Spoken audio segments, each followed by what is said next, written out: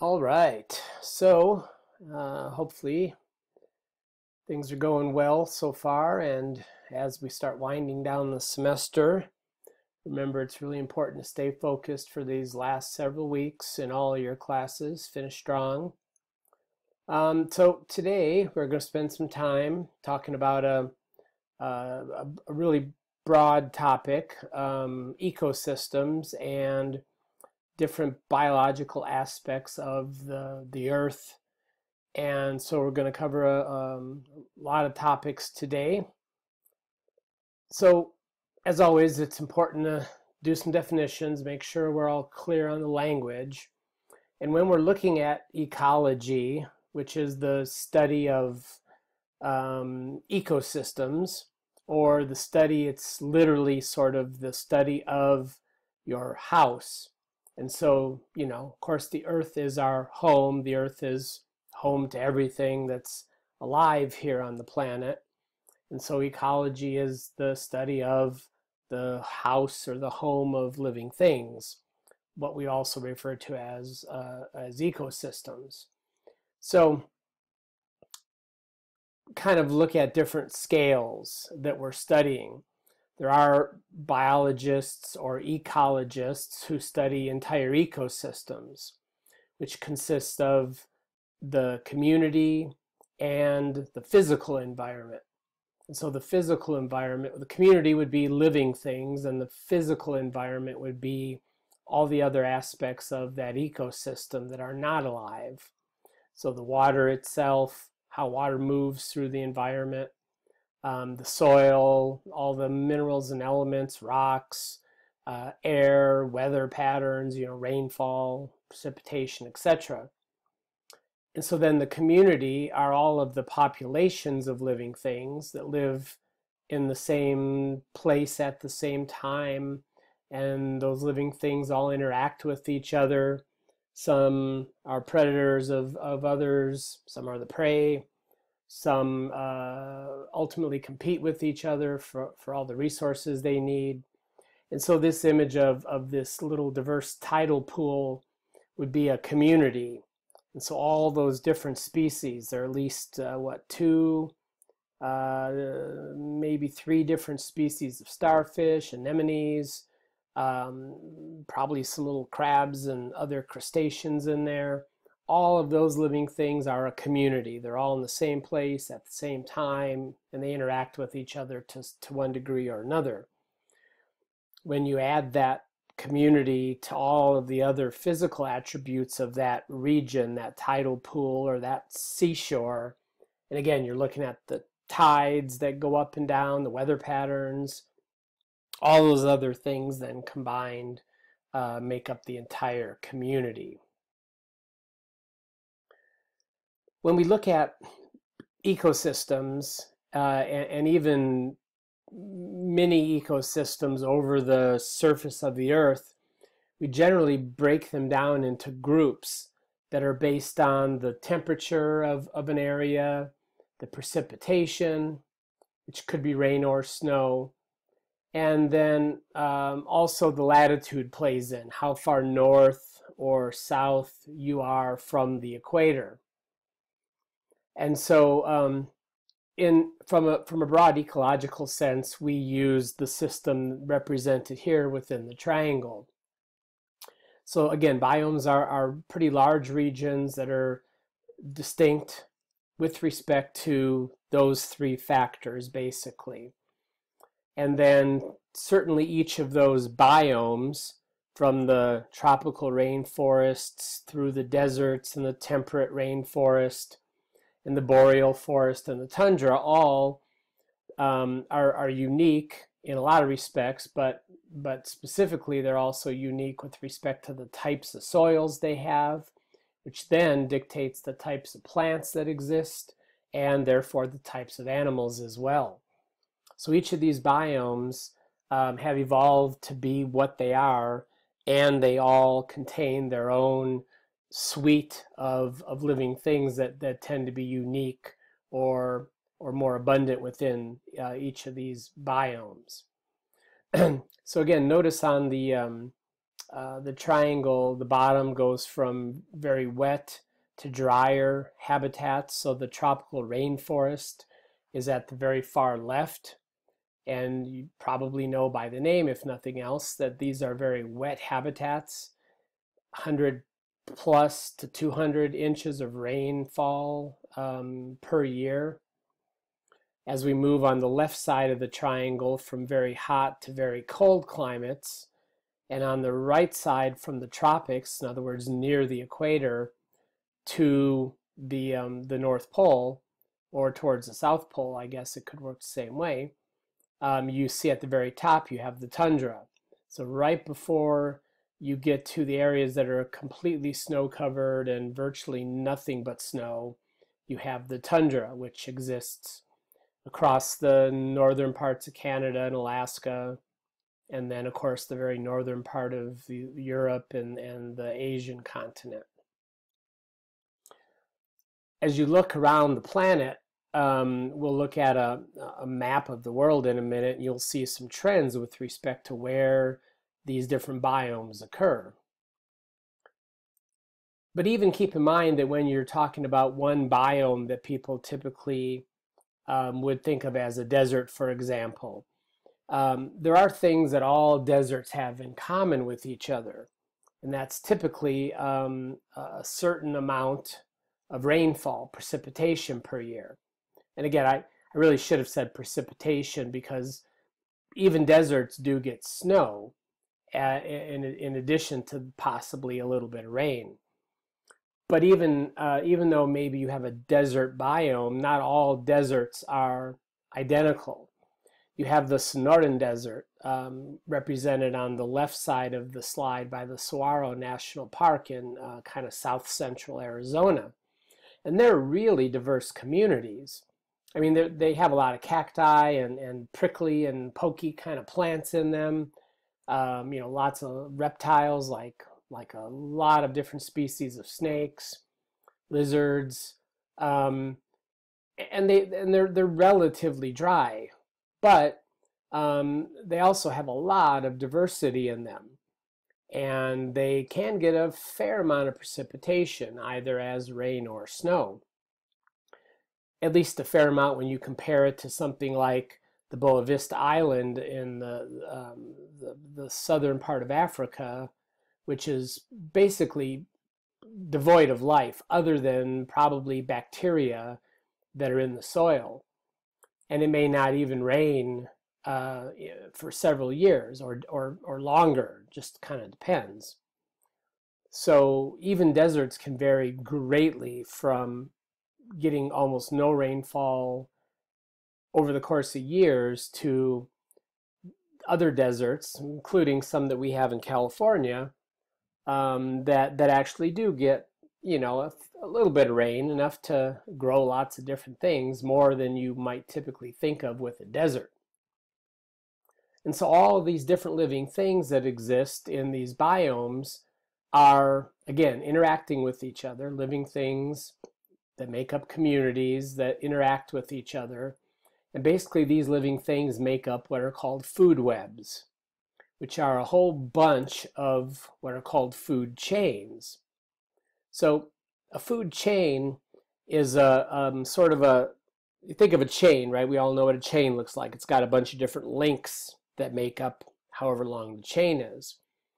And so in an ecosystem, each of those links would be a species. So in the Sonoran Desert, for example, um, I, I'd lived in southern Arizona for a couple years and had a chance to really uh, appreciate the, the Sonoran Desert.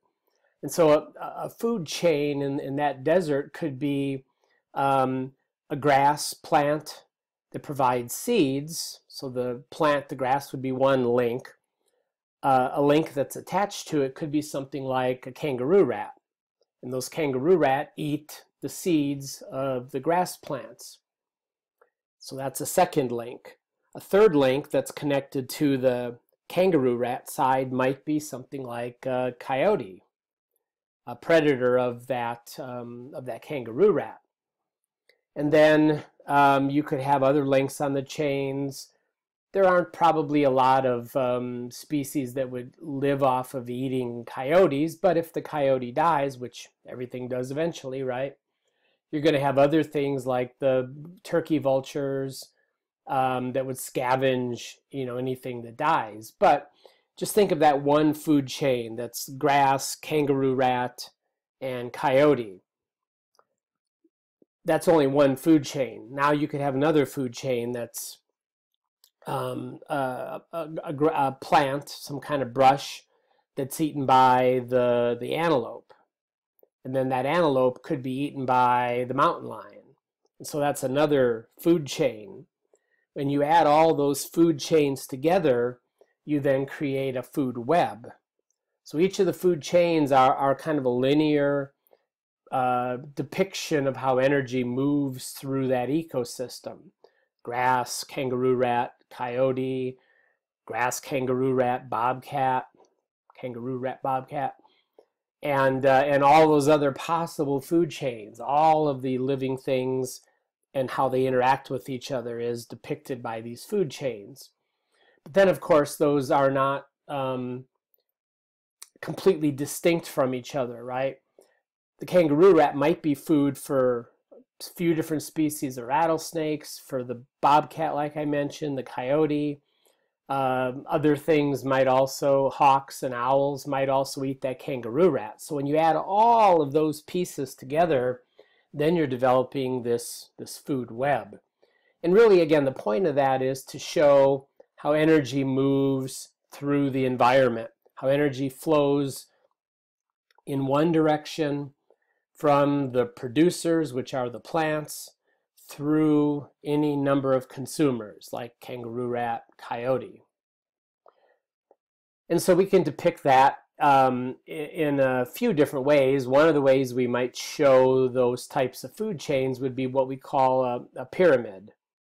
And this would be, for example, like a, a pyramid that shows uh, the amount or biomass of living things notice these these food chains or, or when we depict them like a pyramid it literally has to be a pyramid that has a wide base and it tapers upward. Um, let me see here sorry.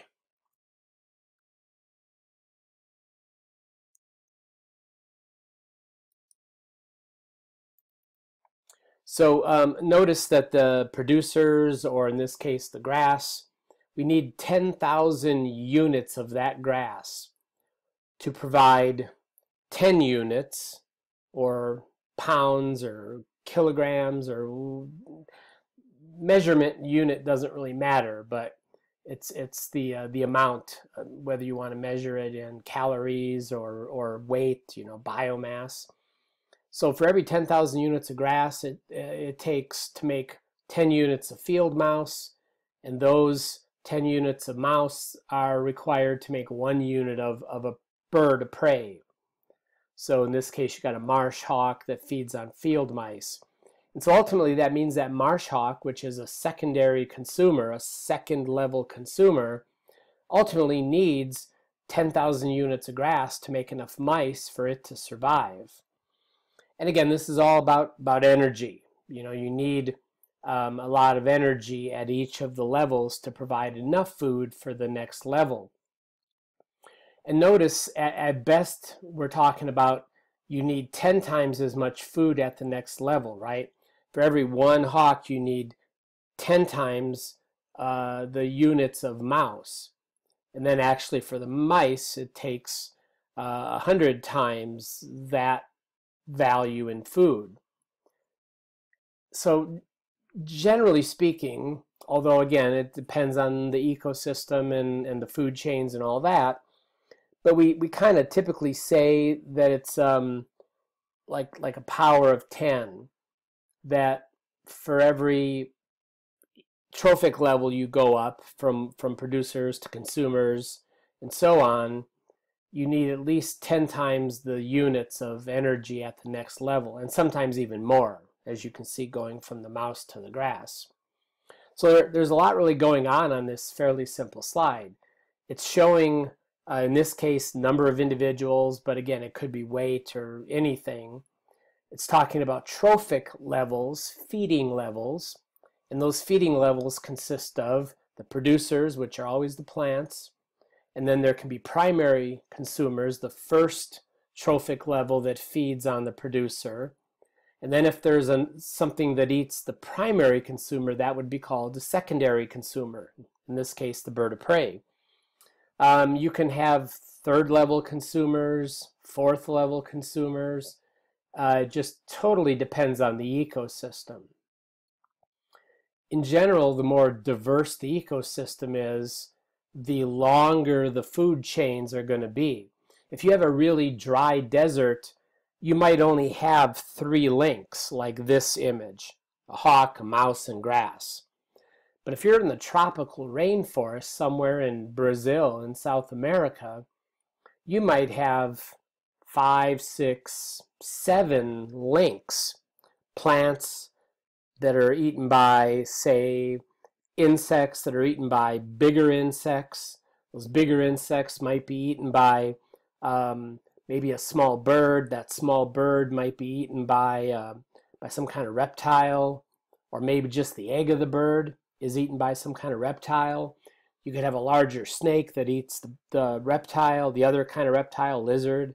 And then you could have a um, some kind of predatory bird that eats the snake and and you could even have a bigger predatory bird that eats the other bird but again you you need to have a really diverse productive ecosystem to have longer food chains and again those those more productive ecosystems are always going to be things like tropical rainforests or coral reefs in the ocean here's a again an example of a of a food chain uh, and it shows the trophic levels. This is a, a, real food chain in Lake Ontario, so kind of the the uh, you know upper Midwest, more towards the east of the Midwest, along the Canadian border. And again, you have in this case the producers are green algae, which we were actually talking about this week in uh, lab. Mollusks like snails move around on the rocks and they feed on the algae that grows on the rocks. And then you have a smaller fish that's going to feed on those snails. And then ultimately a larger fish like a Chinook salmon that eats those slimy sculpins. Um, and again, in this case, you have a tertiary consumer, a third level consumer, or what we also refer to as an apex predator.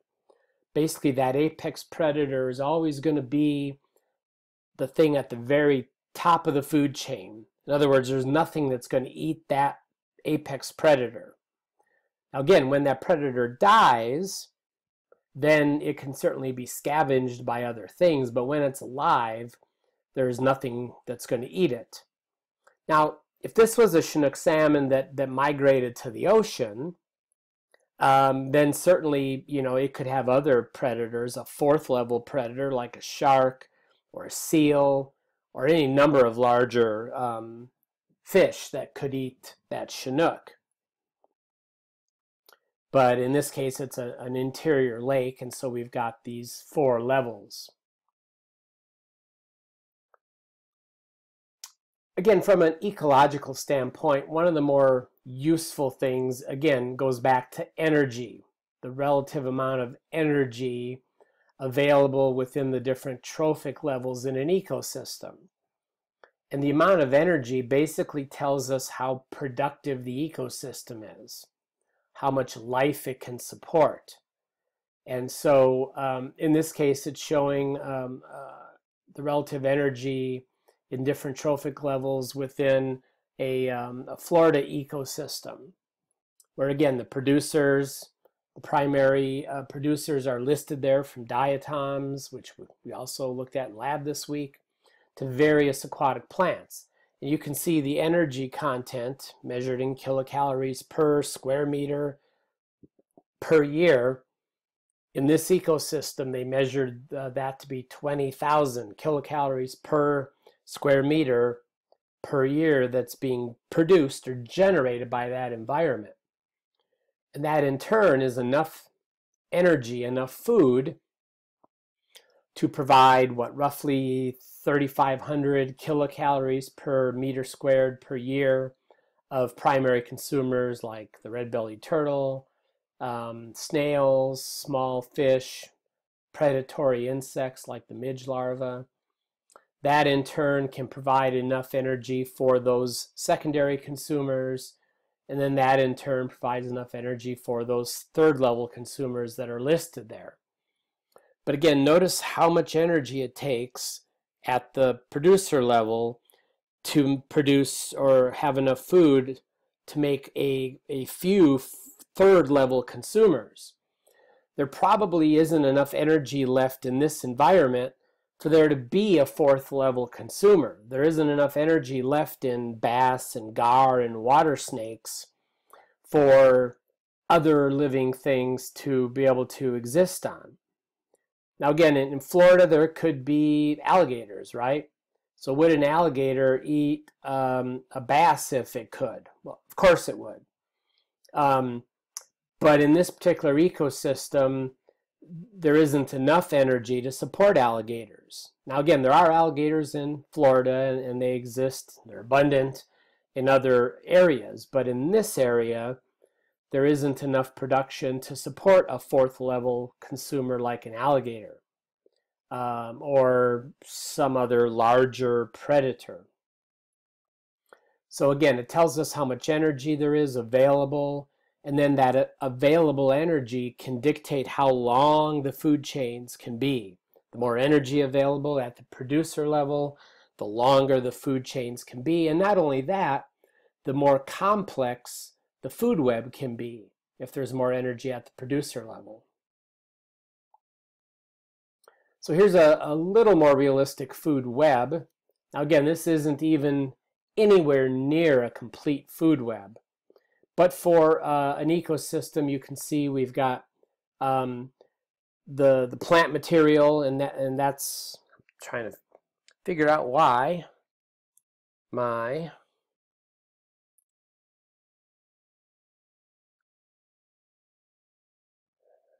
go. I guess go down here.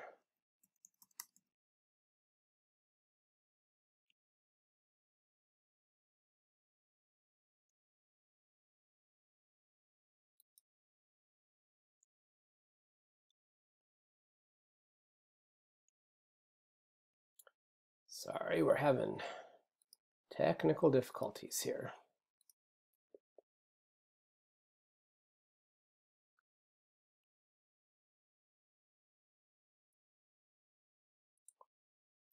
All right, so um, you see this layer is the primary producer layer. And so these are all the plants, grasses, shrubs, plants that uh, photosynthesize.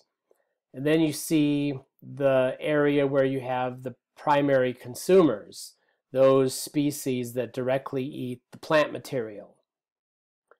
Now, some of these are food items for um, some secondary consumers.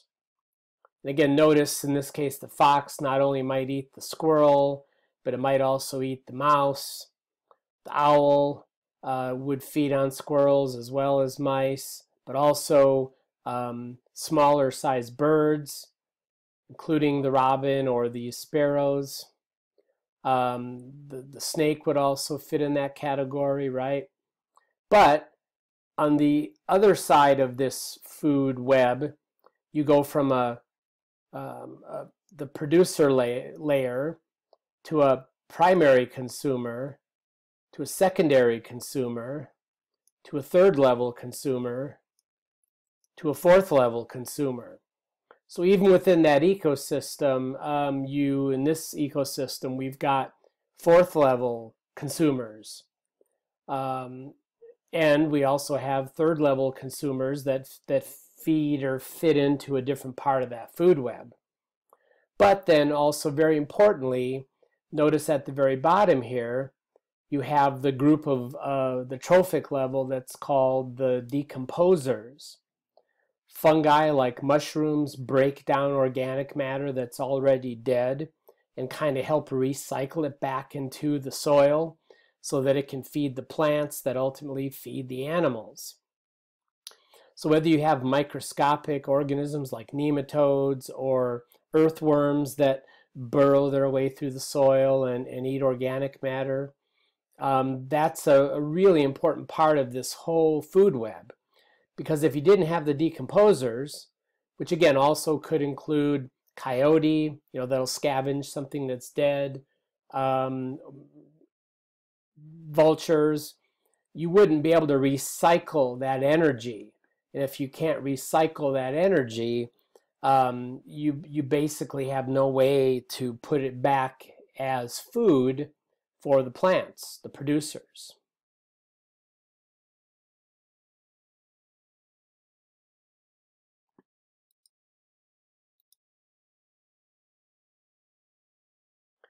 So we've used some terminology, producers that are the plants that make their own energy, they produce their own energy. We have consumers and we can have primary, secondary, tertiary, fourth, fifth level consumers that eat the producers.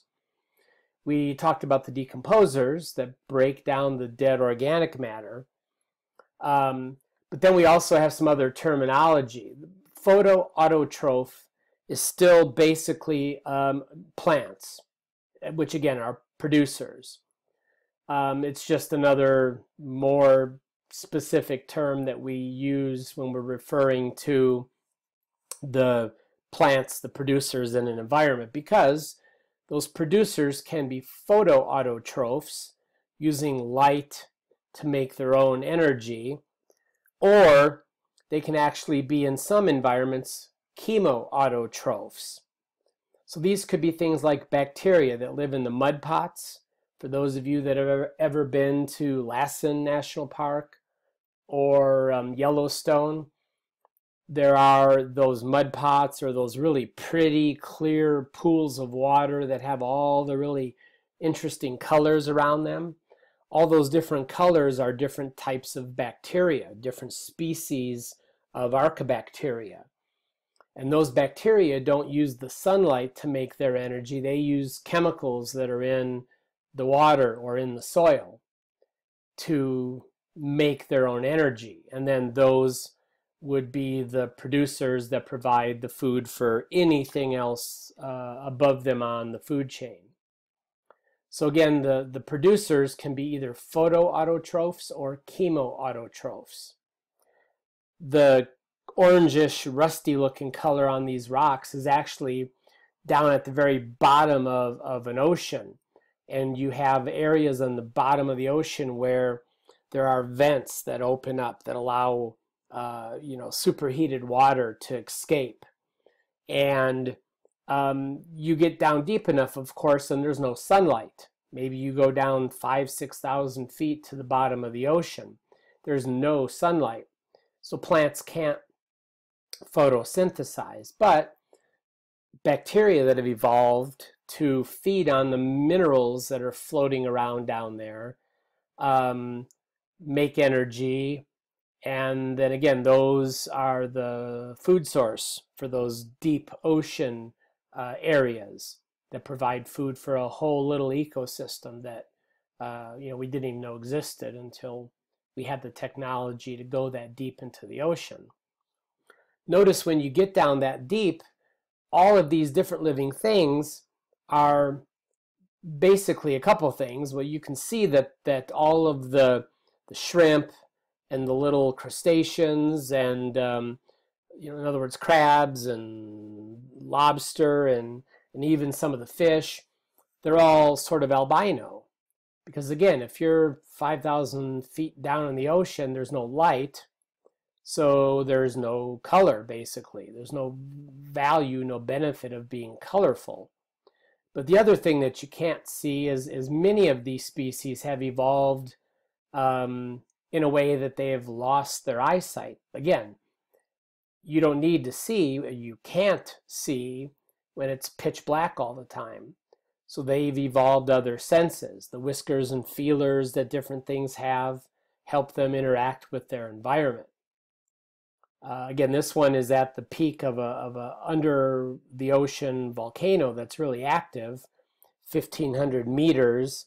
which is close to 5,000 feet, roughly a mile down. But uh, but again, it's the um, those chemoautotrophs that provide the equivalent to, say, the grass on the surface of the earth.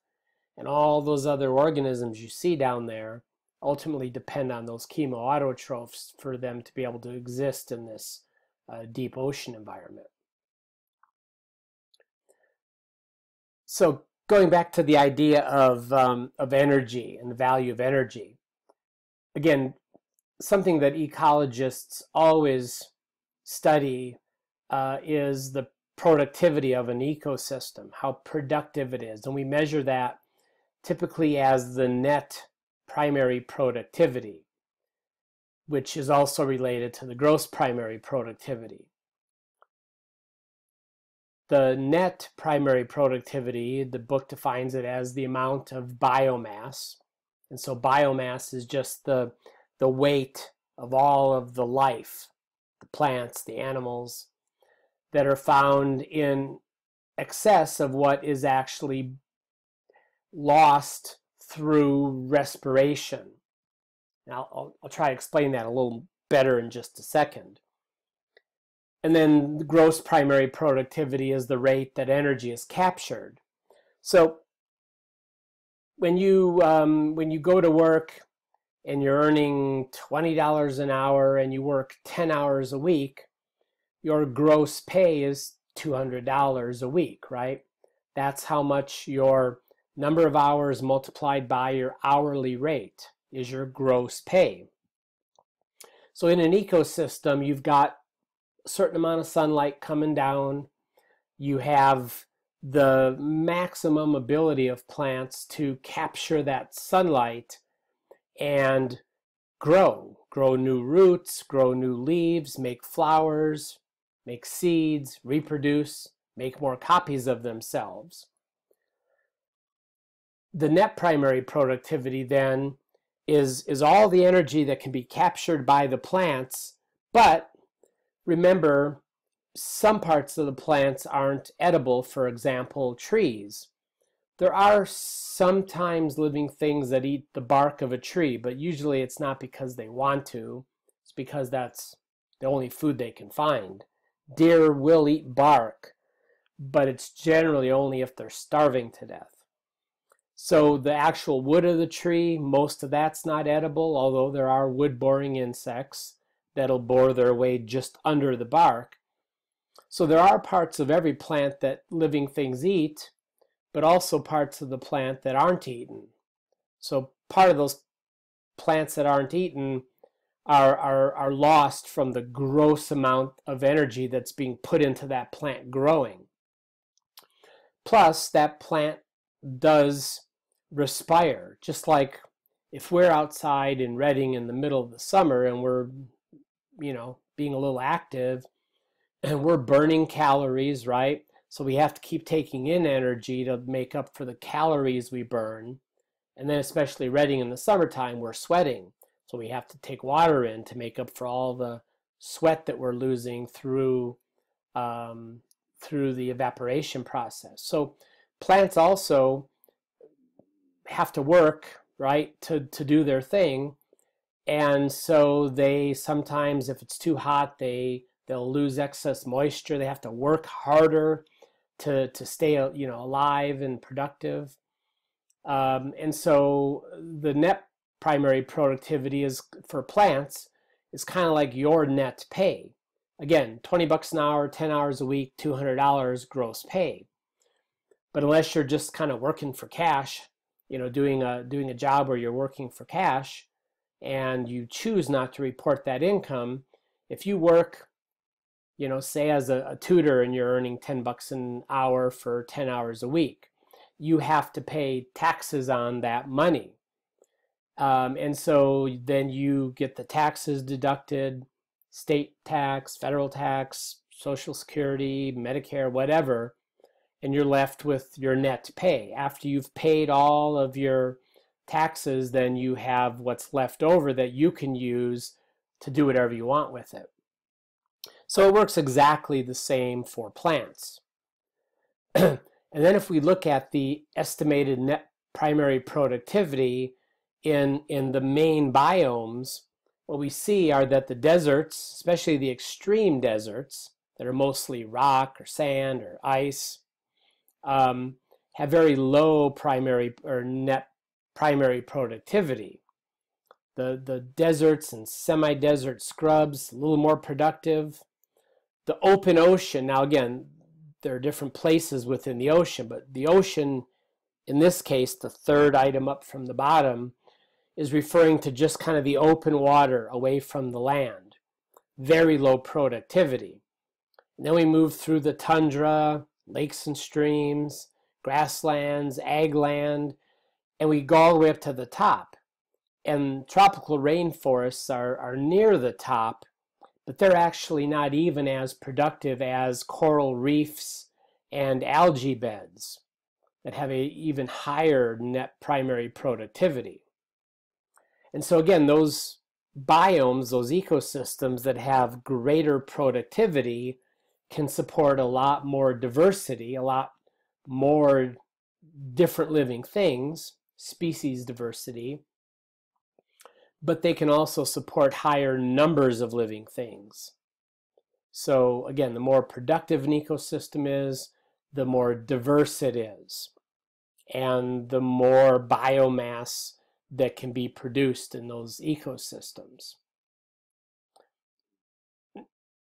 So, for example, uh, a, type of quiz question, it's not going to ask you, um, you know, what's the number of grams per square meter per year productivity of a savanna? But a question might be, you know, which of the following are, are the most productive? And so there could be a multiple choice, you know, lake, streams, ag land, savanna, or estuaries, which is the most productive.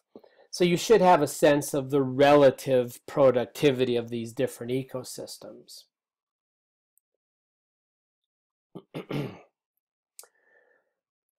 There's another factor that is, is a very important aspect of understanding ecosystems, and that has to do with food chains, um, but also more specifically the ability of certain things, chemicals, to be able to move through a food chain or through a food web.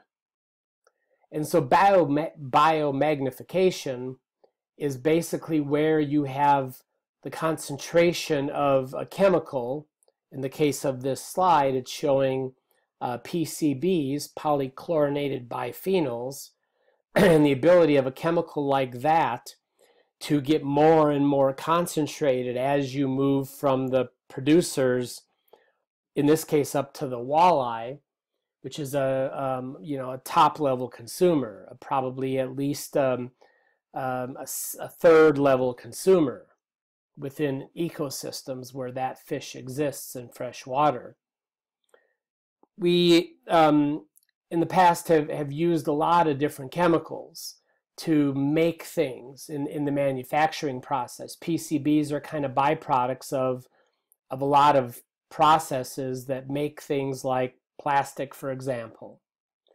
And so what has happened in the past, before we understood the idea of biomagnification, or the even not even understanding PCBs at the time, but certain chemicals like PCBs accumulate in fatty tissue. They're not water soluble. If they were water soluble, they'd just dissolve and go away. But they're actually fat soluble. So when the, the phytoplankton is you know filtering water it's it's taking in very small amounts of of PCBs that are in the water from things that humans have done again the byproduct of making stuff so there are lots of phytoplankton, right? That's the, the bottom of the food pyramid. But then you have zebra mussels that eat phytoplankton. And they don't just eat a phytoplankton here and there, they eat thousands of them over the course of their lifetime. And so every one of those little phytoplankton has a very, very small concentration of PCBs. But when you add up all of those tiny little bits, and you concentrate them in the zebra mussel, now you've increased the volume or, or amount of that PCB. And so every time you go um, from one link to another link in the food chain, you're concentrating all of the PCBs that are taken in by the previous trophic level. In this case, you get to the top of the food chain, like the walleye, and now you have a, a high enough concentration that it can actually start causing trouble. In this country, one of the, the biggest problems, or, or I guess it was a big enough concern that we started really wondering uh, what impact things like the PCBs, or in the case of the bald eagle, it was actually, does anybody know a chemical was causing problems with bald eagles decades ago? DDT, right? We made DDT to help us with the war, you know, kill plants so that um, we would kill disease-bearing organisms like mosquitoes so that our troops wouldn't catch diseases that we basically didn't have much immunity to. And then as soon as we figured out how good it worked, we started spraying all over the place in this country to kill mosquitoes so that we didn't have problems with diseases like malaria. And so we would just literally drive through towns and spray DDT, which also exposed us directly to it. But the DDT would, would settle in the soil, it would be transferred into the lakes and streams and rivers. And then in the lakes, streams, and rivers, it would basically work just like what we see here. It would get concentrated and magnified up the food chain until it got to the fish, the larger fish that the eagles would eat. Again, you can see all these fish carcasses scattered around the, the eagle nest here. So every one of those fish now could have a pretty high concentration of DDT. And then when the eagle eats the fish or feeds it to their young, it didn't actually kill the eagles. And again, I imagine a lot of you, if not all of you, are familiar with exactly what was happening here. Remember, it wasn't that the DDT killed the eagles, but the DDT would affect the ability of the eagle to metabolize calcium. And what are eggs made out of? Eggshells are made out of calcium, right? So because the eagles weren't producing strong shells, they would lay eggs and then just by sitting on them trying to hatch them, a lot of times the, the, the eggs would just break under the weight of the parent. And so it wasn't killing the adults, but basically the eagles weren't able to make babies. And eventually, you know, the eagle get older and older and, and then would, would die. But you might have generations of not being able to make new babies. And so, of course, when you don't replace young with the individuals that are dying, the population starts to drop off, which can lead and almost did lead to extinction. Again, we finally sort of saw there was a problem with eagles and, and other things like osprey. Peregrine falcon were, were kind of a, a similar bird that was having that problem. And um, eventually we identified what the, what the issue was, DDT, or in the case of other fish, it might have been the PCBs. I I grew up in Wisconsin, right on Lake Michigan, and when I was growing up in the 70s, um, and I would go fishing, there always at that time were advisories. You were not supposed to eat more than I think it was something like a pound of salmon per week. Because again, in that ecosystem, salmon were at the very top of the food chain. And we had at that point identified the PCB concentrations were really high in Lake Michigan because of all the industry. And when you get to a really big old salmon that has been alive for maybe 15 or more years, uh, it's, it's had 15 or more years to concentrate PCBs to the point that if, if humans would eat too much of it, we were worried about the types of health problems that it could cause, having figured out that we were having similar problems with things like bald eagles. So we didn't fully understand what types of problems that, that it could cause in humans, but we knew that it was causing problems in other things. And so then once we figured out that there was a problem, then it was, well, how do we solve this problem? Obviously, the, the main thing is to stop making the problem, right? Stop creating PCBs and dumping them in lakes. Stop using DDT for um, killing mosquitoes. But also because those chemicals are so persistent, they don't just go away. Ultimately, we had to just kind of wait it out until the, the chemicals eventually worked their way out of the environment after maybe several decades. In the meanwhile, to save the eagle, we had to, um, you know, kind of monitor nests, take the eggs away from the parents before the eggs broke, and then hatch those eggs in an incubator, and then put them with foster parents after they hatched. So basically, we had to jump in there and not let the adults hatch their own eggs for fear that they would all break. Just final thought on that to, to point out just how pervasive those chemicals are. We haven't been able to legally use DDT in the United States for decades now. So it's been decades since we've used, theoretically used DDT in, in the US. But in, in recent years, we've actually been finding it in the Columbia River system on the Oregon uh, Washington border.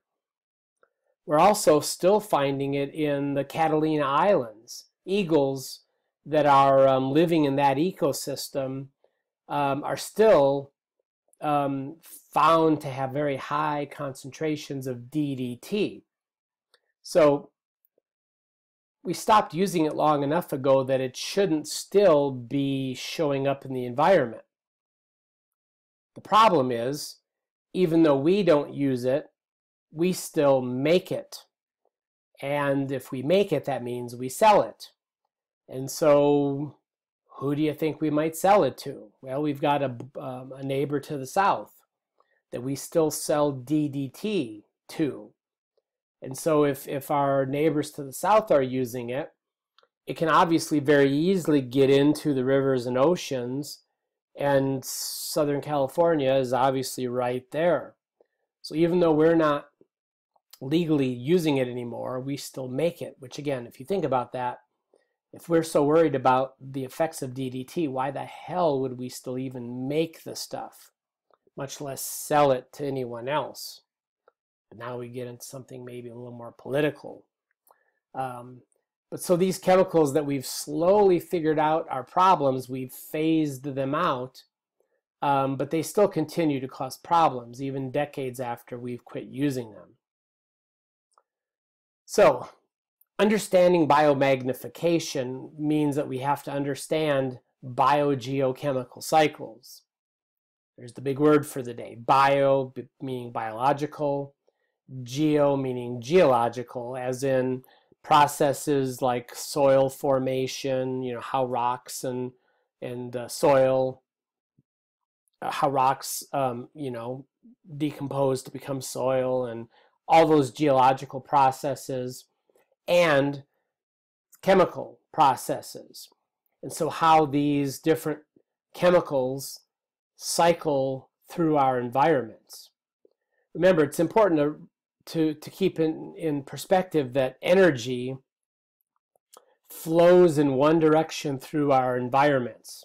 So, energy from the sun allows plants to grow, those plants are eaten by different consumers and then eventually that energy is just no longer concentrated enough that, again that's why you know the pyramid's wide at the base and it tapers up and eventually there's just not enough energy left to make another trophic level or another link in the chain but but matter or things like nutrients cycle through an environment. They cycle with the help of, for example, the decomposers that I spoke about. When living things die, all the matter that's in those living things, all the elements and things we might call nutrients, get broken down from you know the whole living thing to the tissues to carbon and nitrogen and and those are then released back to the environment where they can be reused again so that matter is constantly cycling whereas the energy flows one direction from the sun through living things and ultimately it's it's lost as heat which is energy, but, but heat is energy that's not strong enough to do any more work. So um, there's several biogeochemical cycles that we'll talk about. And I just want to focus on um, what the um, what the thing is, what the so for example, we're going to talk about the water cycle first, the hydrologic cycle and then kind of how it flows or cycles, I should say, and uh, what the sources are.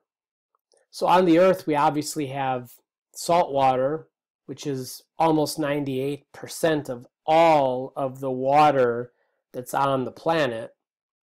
And then the freshwater, which is only about 2.5% of all of the water on the planet. Obviously, living things, unless you're a saltwater species, need fresh water. So, of that 2.5% of all of the water on the planet that's fresh water, most of it, most of that fresh water is actually in snow or glaciers or, or, or ice. In other words, it's in a form that isn't accessible. You can't drink um, snow. You can't eat ice. I mean, as far as it providing you with water that your body needs to sustain itself. About a third of it, then, less than a third of, of the fresh water, is actually in groundwater. So it could be the moisture that's in the soil, the water that's down, um, you know, down below the soil, or or swamps, the permafrost that's you know frozen water that's in the soil and only 0.3% of the 2.5% of all of the water on the planet is found in lakes and rivers fresh water that's in lakes and rivers streams all that would fit into this category so again it, it's a very very small amount of all of the water on the planet that is actually available as fresh water. Most of it's in the oceans. So here's a diagram um, that shows the water cycle. And so you have sources, back up to this, um, you have uh, the initial sources of the water, which are in the oceans, uh, lakes, streams, and rivers. You also have water that's stored in the soil, so the underground uh, water. Again, you have all of the water that's in a frozen format, ice and snow, glaciers. And so ultimately what happens is the frozen precipitation melts, maybe not all of it, but at least partially, or over tens of thousands of years, it melts and then it accumulates and it melts. Some of that water runs off and it goes into the uh, lakes, streams, and rivers, flows across the surface. Some of it uh, melts and it just percolates into the soil, or what we, through the process we call infiltration, when it's underground moving through the soil, it then can also seep out as a spring. It can seep out into the lakes, streams, rivers. But eventually, all of it, whether it's in the rivers and streams, whether it's in the soil, eventually it ends up finding its way into the ocean. It can actually circulate around the ocean for thousands and thousands of years, but eventually that water then evaporates off the surface of the water. And again, it's going to do that from the ocean.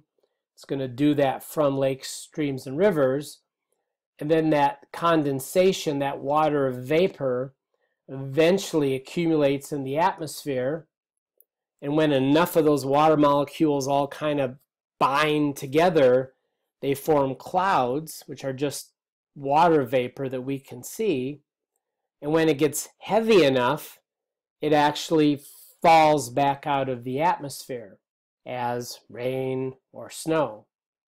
And so, again, this is just a constant cycle of water moving from the atmosphere to the surface of the earth as snow or, or liquid precipitation, moving across the surface into the waterways, and then eventually evaporating back to the surface uh, to the to the atmosphere. But then also remember you've got the plants and the animals. When we sweat in Redding in the in the summertime, we're basically having water that evaporates off of our skin and goes back as water vapor. Or when it's a plant, it's called evapotranspiration. So again, that's a process basically of of um, the cyclic movement of water from uh, different places on the surface of the earth. Since we're carbon-based life forms, carbon is also a uh, an important uh, cycle to understand. The source of carbon uh, is the carbon dioxide that's in the atmosphere, the CO2 trying to draw with my mouse, so that's readable, I guess. But so the, all of the carbon on this planet that is used to build us, plants, bacteria, comes from the carbon dioxide that's in our atmosphere. The way it gets into us is through the process of respiration. Remember, think back earlier in the semester we talked about the um, the the process of photosynthesis, right? And one of the important things that that plants need is CO2, and it's because they need that carbon to build the glucose molecules that then provide us with food. We break those sugar molecules down through the process of respiration. And so when we exhale, what do we give off, right? CO2. So the CO2 is needed for photosynthesis, and then we put it back in the atmosphere as we respire.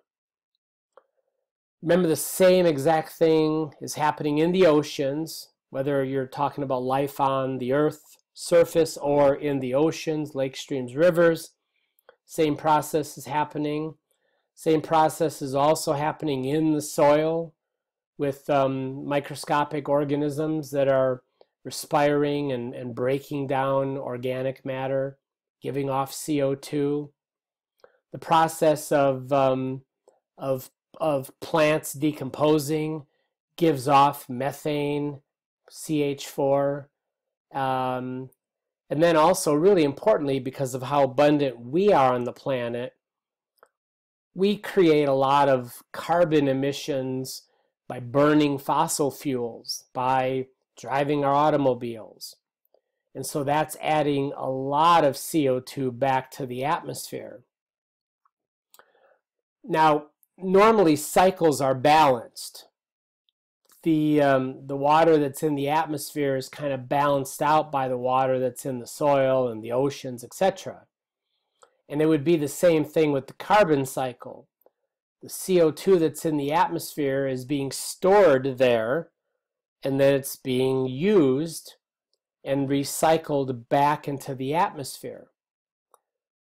The reason it's really important for scientists to understand the carbon cycle is mostly because of, let me erase this again, because of this part of the cycle. The fact that we are digging out so much fossilized carbon, in other words, petroleum, natural gas, coal, and these are meant to be long-term storage, like storage that should be there for millions of years, tens of millions of years. And we're digging it out of the ground, we're burning it to make electricity and everything else, and then we're making so much emissions back up to the atmosphere that we're actually throwing the carbon cycle out of balance. And all of that CO2 that's in the atmosphere is creating the greenhouse effect, or in general, the idea of, of uh, global warming or climate change. Again, we'll talk a little more about that uh, in, in a later chapter, but the primary reason for that is because of us throwing the carbon cycle out of balance. All right, then we have the nitrogen cycle.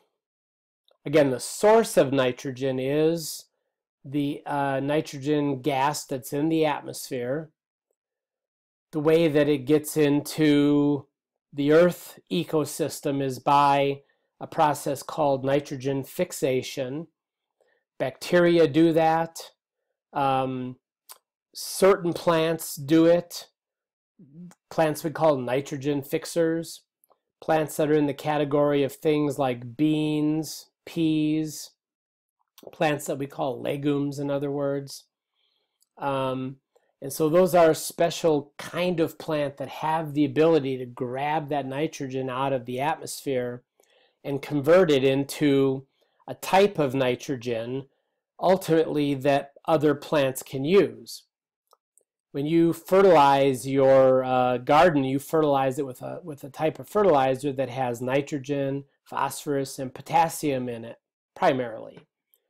Uh, so again, plants need those, those elements to build roots, leaves, flowers, seeds, fruits.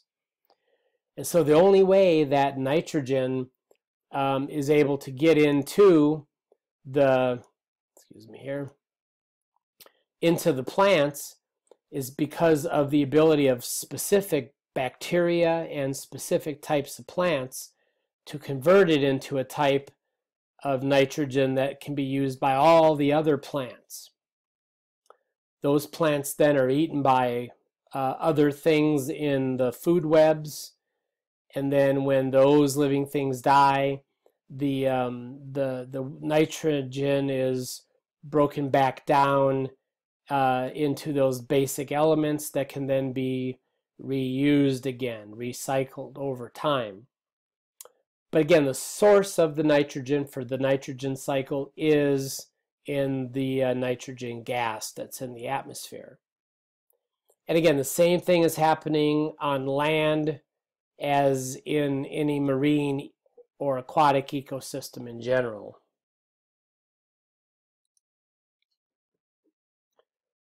Phosphorus cycle, um, again, nitrogen, phosphorus, potassium are, are three of the main elements that plants need to fulfill their, their growth requirements.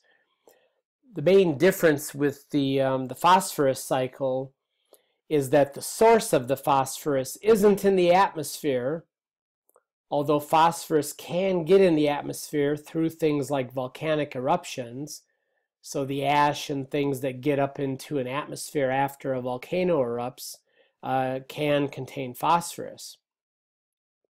But the primary source of phosphorus is as an element that's in rocks. As those rocks get worn away and broken down from big pieces to smaller and smaller pieces, that phosphorus ultimately dissolves in the soil. And so then once it's dissolved in the soil, it can be taken up by plants. It can be leached into the nearby waterways where it can be used by plants or it can be used by marine organisms. And then when they die, again, it gets cycled back into the soil for other plants to use or back into the ocean sediments where it can be recycled and, and reused again. So again, the main difference with phosphorus cycle is, is now the source isn't in the atmosphere, it's down in the actual soil.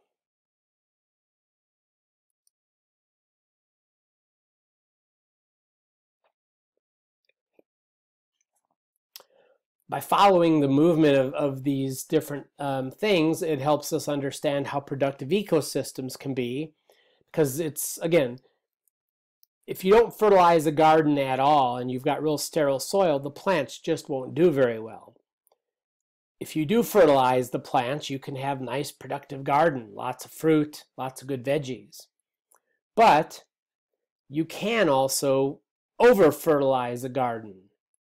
Um, or you can have excess of what would normally be a good thing, like nitrogen or phosphorus, that can create a problem if it's too abundant. So, for example, we used to have a tendency, maybe in, in agriculture, that if a little's good, we'll, we'll just put a lot of fertilizer on our ag land. And what would generally happen is, is a lot of it would actually just run off across the surface and it would flow into the nearest body of water and then eventually out into the oceans. And again, whereas things like nitrogen and phosphorus and potassium are, are necessary, when you have too much of it, it actually is really good, but only for certain things. It's really good to help little microorganisms like bacteria and, and, and even things like algae grow. And it really helps them. But the problem is they benefit and they grow like crazy and start really using up the oxygen. And so if you have a pond that's full of algae, and we've all seen little ponds that are just green, we, we refer to it as looking like pea soup, right? What's happened there is, is that algae or or even the the microorganisms are doing really well because they've got all of this fertilizer that's run off. Some of that could even be from our lawns. You fertilize your lawn, looks good and green, so I'm going to really fertilize it. And then it runs off and runs into these ponds. And what happens is those living things benefit, but they use so much oxygen that they kill other plants and animals that live in those ponds. And so what we see on, on this image, I apologize, it's really kind of grainy, but but these circles and, and the darker, the bigger the circle and the, the darker the red are areas of, of dead zones. Now, it, it doesn't mean that the entire eastern seaboard is dead, but there are areas all along the seaboard and the Gulf Coast and even up in the Pacific Northwest and certainly the Bay Area and Southern California, where there are areas that there are dead zones because of urban runoff. Runoff, again, from agriculture, but also runoff from um, uh, you know lawns and and um, runoff from manufacturing. So you get these areas that are really productive but then you can get areas that you actually kill because of dumping too much chemicals into them. And so again, it isn't the chemical that kills the living things, it's the nitrogen and phosphorus that over fertilize an area. And then when that area gets over fertilized, it starts benefiting certain things, and those certain things can overwhelm an ecosystem and, and kill everything else. The Chesapeake Bay was such a productive ecosystem that was so important to the East Coast, provided so much of the seafood. Clams, oysters, lobsters, you name it, fish, species, all kinds of species of fish. But because of how concentrated the population of humans is, and therefore manufacturing, and, and again, before we understood how things could bio um, magnify up a food chain, we, we dumped so much into the Chesapeake Bay that we almost sterilized it. Again, we identified the problem, we, we figured out what the source of the problem was, and started researching it, started making laws that changed the way that we could do things like manufacturing and and and helping agriculture understand how to how to be more efficient at, at fertilizing but not over fertilizing and and even still now it's been decades that we're still working at restoring that ecosystem. The gulf of mexico same exact problem there, there are huge dead zones where the mississippi river dumps into the gulf of mexico and that's because the mississippi runs the entire length of our country right from minnesota all the way down into the Gulf.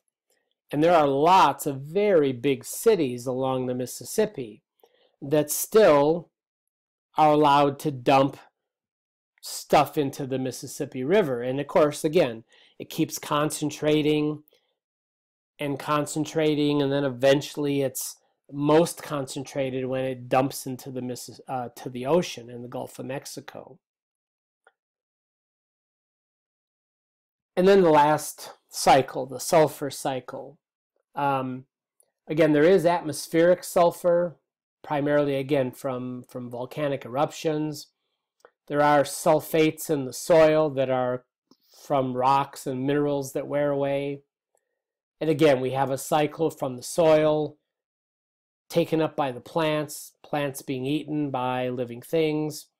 When those living things die, the sulfur is released um, back to the soil or even as a gas. But then again, very importantly, we also have a, a, um, a huge role in this as humans.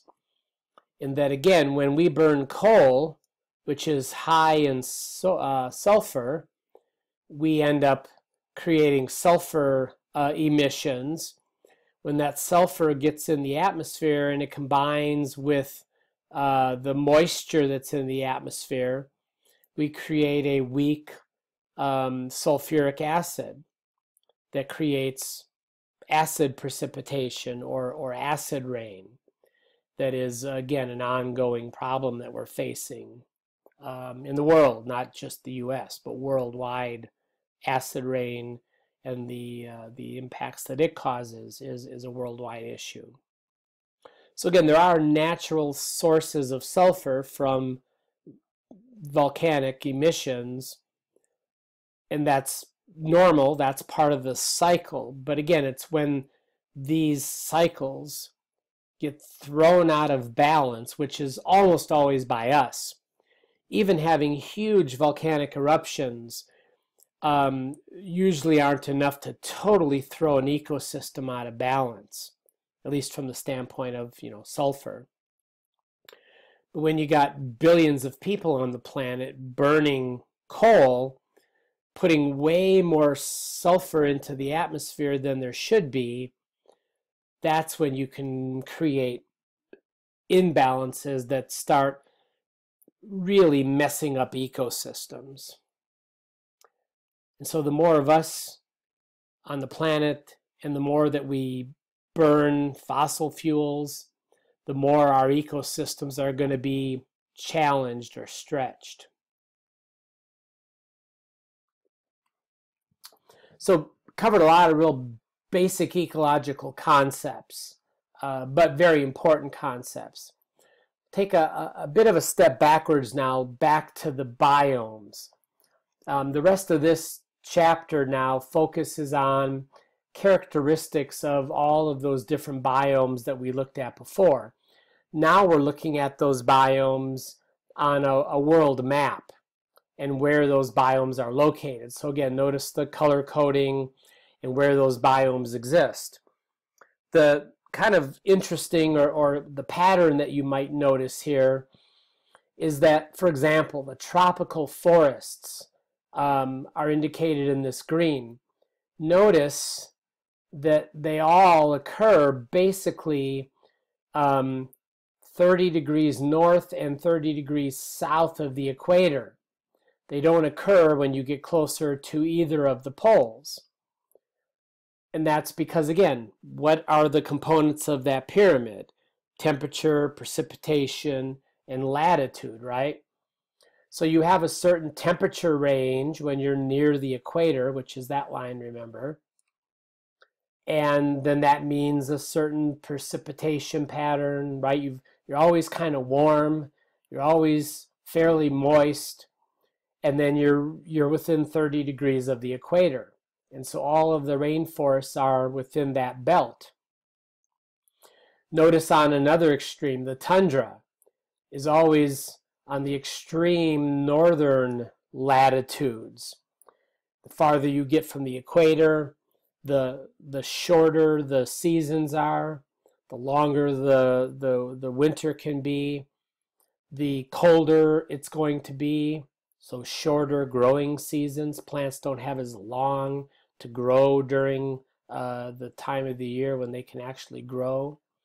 So again, notice the, the, the patterns that you have these different communities and they, they tend to be kind of, you know, oriented on the, uh, on the earth within a, a certain latitude.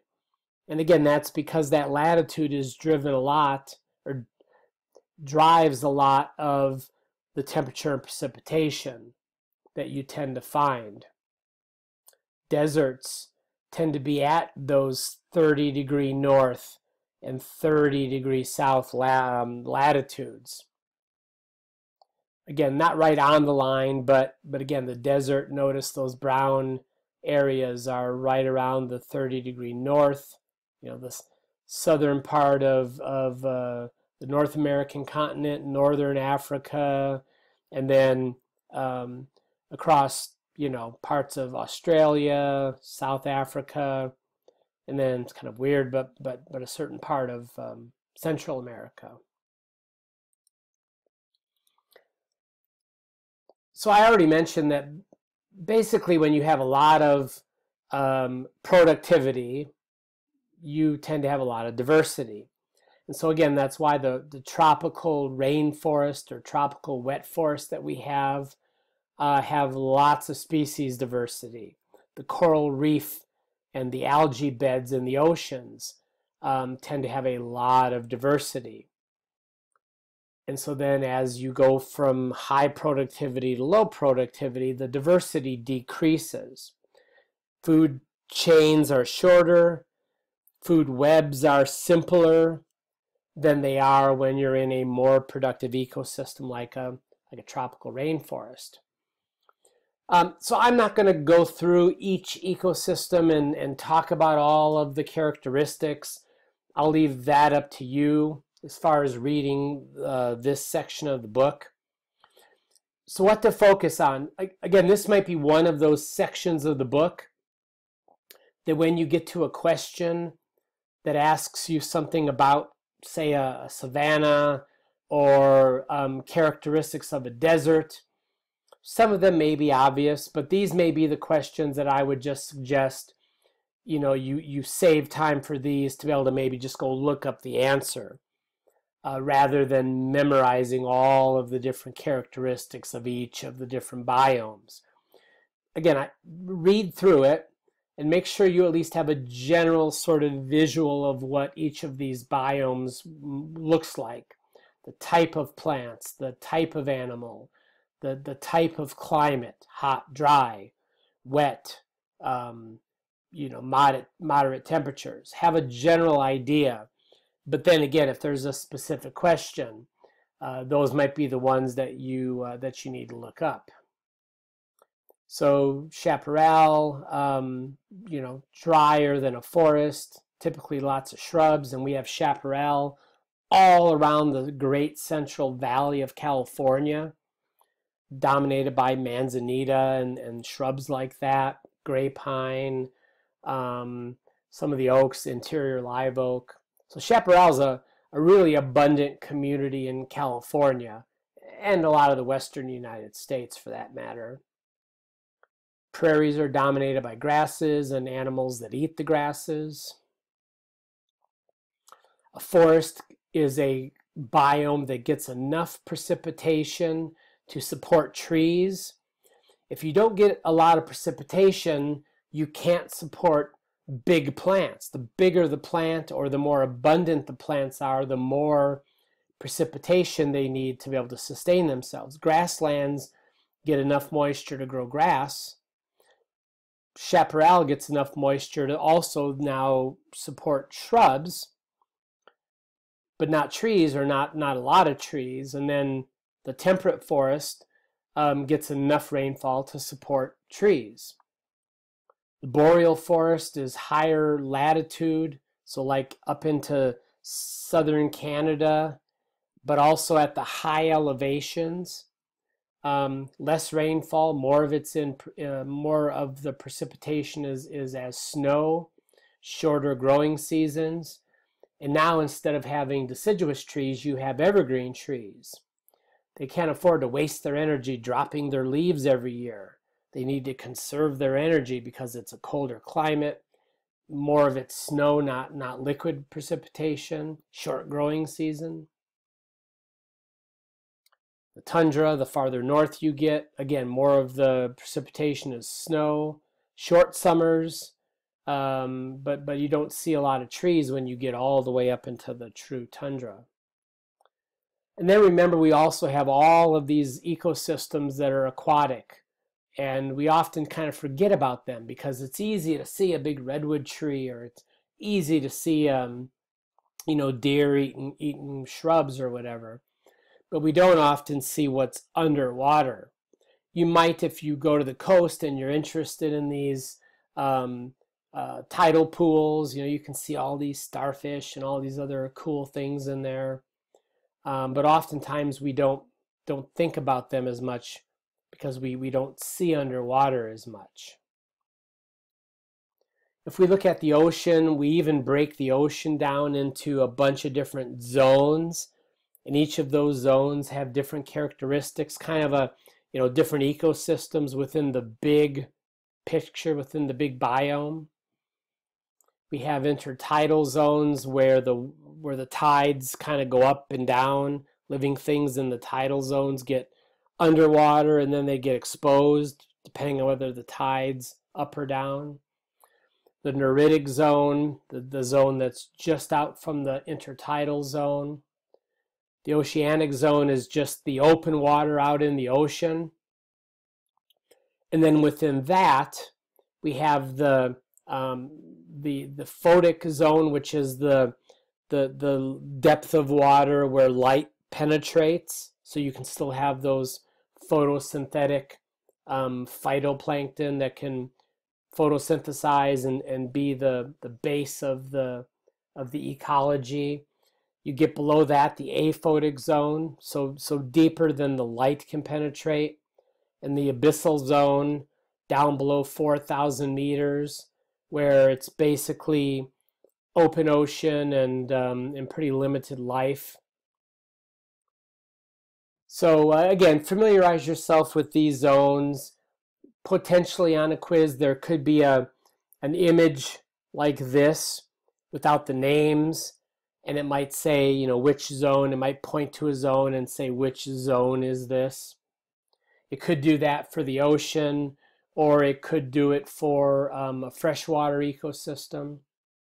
So again, um, you make sure you put a little time into studying that and terminology. But it may also be that you just reference the book if, if some of those questions come up. Of course, coral reefs are very important aquatic ecosystems because of the amount of life they support. And they're also becoming endangered in some ways because of human caused problems. Uh, and so we're really working hard to protect the coral reefs. Estuaries are also hugely productive ecosystems that provide a lot of food for humans.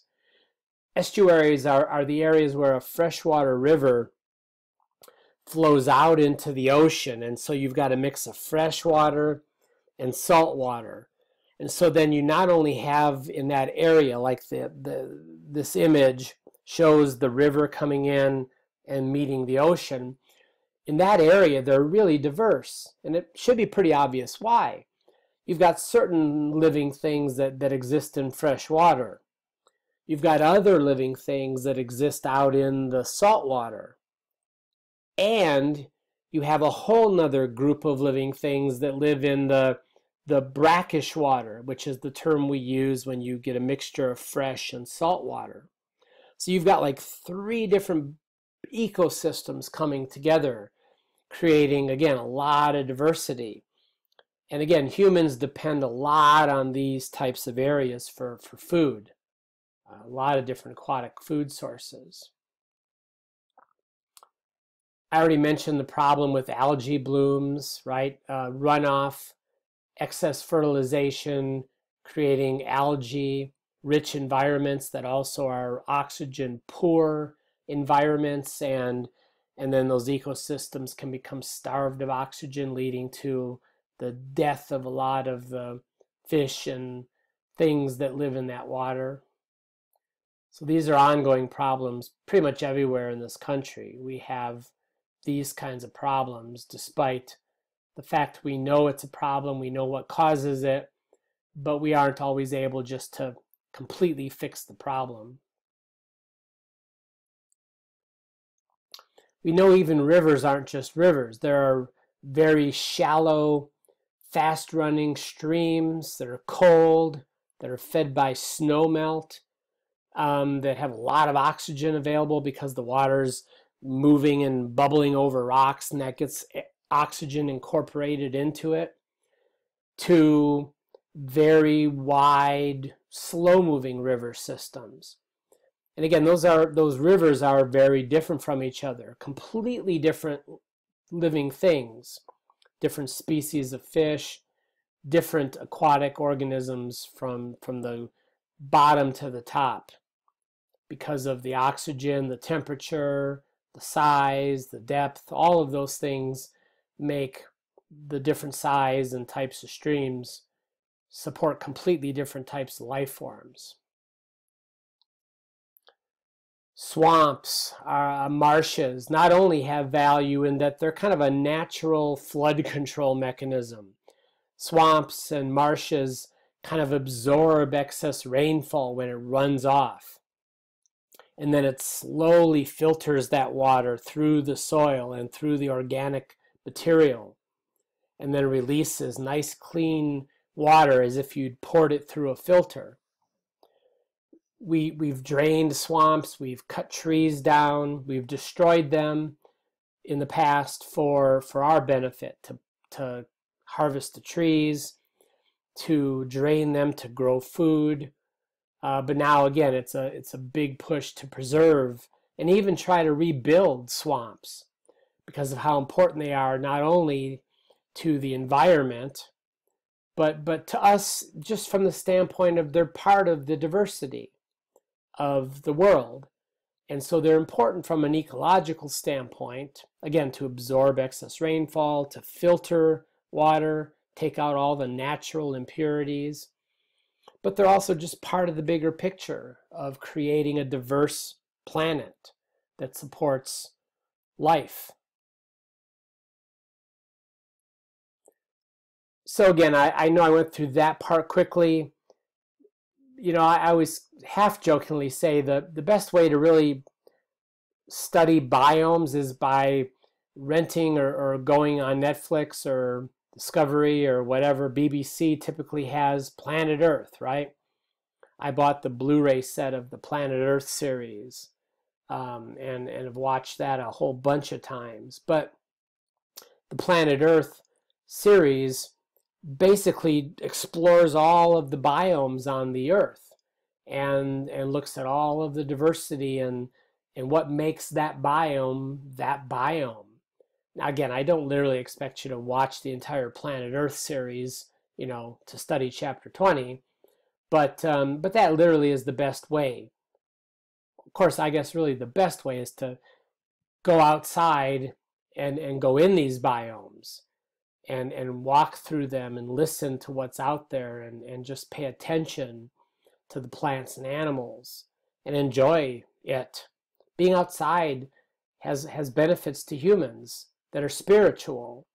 It could be physical activity which is good. It could be just something to do to get away from work to get your mind on something else. Um, and it could be more of a spiritual thing. People go for hikes in the redwoods just because it's calming and it makes you feel good. if we lose the diversity, we lose some of us a little bit. We lose our ability sort of to be humans, to, to be part of nature and really enjoy it. So ultimately that's my my goal is that we we get outside as much as we can, but but we also don't just just we aren't just outside, but we're paying attention to what's around us when we are outside. We're enjoying the values that nature has. And again, the only way we can enjoy that is if we have it. If we let things go away, if we destroy environments, which we've done a lot of in the past, and we still do, um, the more of it that we can stop the damage and repair it and heal it, um, the better off we're going to be as, as humans going forward. All right, so just two chapters left after this one as the semester starts to wind down. So be looking forward to those last couple of chapters.